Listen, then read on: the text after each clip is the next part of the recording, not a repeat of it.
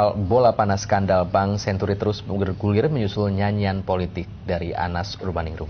Ya, kemarin tim pengawas Senturi DPR mendatangi kediaman Anas Urbaningrum. Tim kecil pengawas Bank Senturi DPR mengaku mengantongi sejumlah informasi berharga setelah tiga jam bertemu Anas Urbaningrum. Di antaranya aliran dana talangan Bank Senturi hingga sejumlah pihak yang diduga punya andil dalam penggelontoran dana 6,7 triliun untuk penyelamatan Bank Senturi. Anas menyebut empat nama baru yang selama ini belum terungkap. Kepada tim Was Bank Senturi, Anas Urbaningrum juga mendesak skandal ini segera dituntaskan. Karenanya mantan Ketua Umum Partai Demokrat ini bersedia memberi keterangan secara resmi di DPR. Betul-betul kita fokuskan, ini kasus besar kata beliau dan memang ini harus betul-betul tuntas sebelum pergantian uh, eh, DPR pada masa yang sekarang ini. Kendati menolak mengungkapkan informasi dari Anas, anggota tim Was Bank Senturi yakin akan ada kejutan dalam kelanjutan kasus ini. Komitmen saya dengan dia tadi, karena dia mau bicara kalau kita bisa menjaga betul.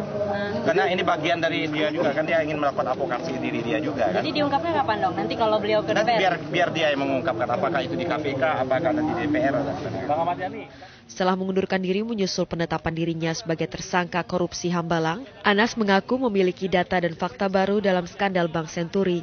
Langkah ini dinilai pengamat membuka babak baru perseteruan Anas Urbaningrum dengan Susilo Bambang Yudhoyono. Artinya bahwa posisi Anas Urbaningrum dan nyanyian dia ini bisa berdampak sangat serius. Tidak hanya kepada situasi politik saja, tapi juga kepada keberadaan kekuasaan Presiden SBY.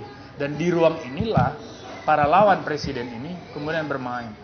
Bergulir sejak tahun 2008, skandal dana talangan Bank Senturi menjadi bola panas yang tak kunjung terungkap. Dana penyelamatan Bank Senturi sebesar 632 miliar rupiah membengkak menjadi 6,7 triliun rupiah.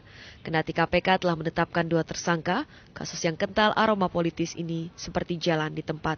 Tim Liputan SCTV melaporkan dari Jakarta.